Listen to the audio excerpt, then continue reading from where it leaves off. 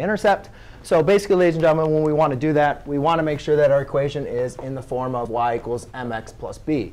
Because based on our definitions, if we know what m is, that's going to represent our slope. And we know if b is, that's going to be our y-intercept.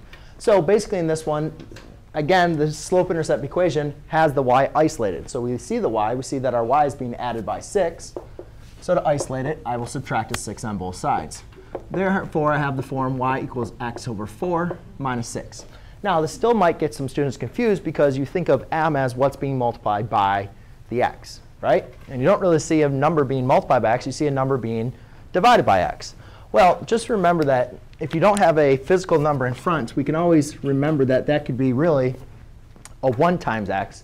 Um, and then that 1 is being divided by 4. So I could also write this equation in this format, which would probably make more sense to you these are equivalent forms. 1, 1 um, times x divided by 4 is really the same thing as 1 fourth times x. Same thing. But now, hopefully you guys can see it in this format. It's much easier to identify that the slope is 1 fourth. And we always want to write our always want to write our slopes as a fraction. Even if you had a whole number, I would always put it over 1, so it's always a fraction. And then my y-intercept is going to be my coordinate point, where b is negative 6. So um, my b is equal to negative 6.